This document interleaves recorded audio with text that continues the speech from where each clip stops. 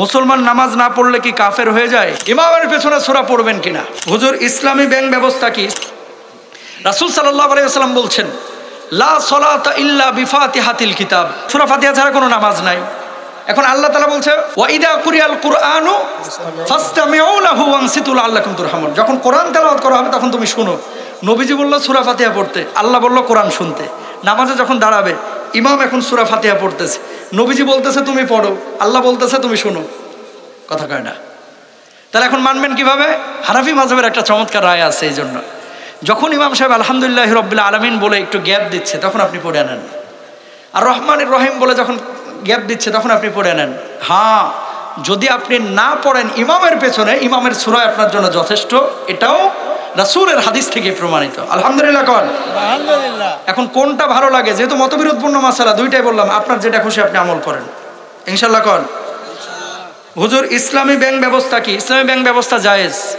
এখন যদি ব্যাংকিং খাত তারা যদি দুই নাম্বারই করে আল্লাহর আদালতে তারা দাঁড়াবে আপনার কিচ্ছু নাই। আপনি কি দশ কোটি টাকা ওই ডয়ারের মধ্যে রাখতে পারবেন? সম্ভব? না। হ্যাঁ আপনি এখন একটা প্রশ্ন করবেন যে, হুজুর, কেন্দ্রীয় ব্যাংকের সাথে তো ওরা লেনদেন করে? কেন্দ্রীয় ব্যাংক তো সুদ ভিত্তিক- ব্যাংক। কেন্দ্রীয় ব্যাংকের অনেকগুলো সেগমেন্ট আছে যেখানে ইসলামী ব্যাংকিং ব্যবস্থাকে তারা সাপোর্ট করে। এই জন্য সরিয়া বোর্ড আছে। যদি সরিয়া বোর্ডকে না জানায়া গোপনে এ ধরনের কোনো সুদি লেনদেন করে, টোটাল দায়ভার ব্যাংকের ওপরে আপনার ওপরে না। গুণা হবে কাদের? ওদের। কিন্তু আপনি দায়মুক্ত থাকবেন। আপনি যদি সামর্থ্য থাকা সত্ত্বেও সুদী ব্যাংকে লেনদেন করেন, আপনি দায়ী থাকবেন। কার আদালতে? আল্লাহর আদালতে। ইসলামী ব্যাংকে আপনারা টাকা রাখতে পারেন, এটা জায়েজ আছে। মুসলমান নামাজ না পড়লে কি কাফের হয়ে যায়? খুব গুরুত্বপূর্ণ প্রশ্ন। রাসুল আকরাম সাল্লাহ আলহিহাসাল্লামের হাদিস যে মুসলিম এবং মুমিন, বাইনাল মুসলিমি ওয়াল কাফিরি। মুসলিম এবং কাফেরের মধ্যে পার্থক্যটা কি?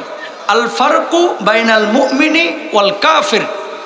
কাফের এবং মুমিনের মধ্যে পার্থক্য হচ্ছে তার কুসালাহ নামাজ বর্জন করা। যে নামাজ পড়ে সে মুসলমান, যে নামাজ পড়ে না সে কাফের। হ্যাঁ এই কাফের অর্থ এ না যে নতুন করে মুসলমান হইতে হবে। তবে মিশর এবং সৌদি আরবের কিছু স্কলার, তারা এভাবে মতামত পেশ করেছেন। কেউ আসরের নামাজ পড়ল না, তার মানে মাগরিব পর্যন্ত সে কাফের। মাগরিবের সময় যখন নামাজ পড়ল, সে আবার মুসলমান হয়ে গেল। এটা তাদের মত।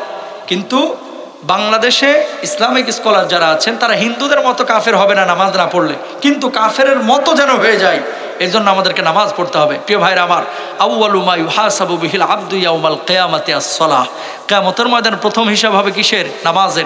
নামাজ যার ঠিক আছে, তার সব ঠিক আছে। নামাজ যার ঠিক নাই, তার কোনো কিছুই ঠিক নাই। ঠিক কেনা? এই কাল থেকে সবাই পাঁচ অক্ট নামাজ পড়বেন তো? জোরে বলেন ইনশা আল্লাহ।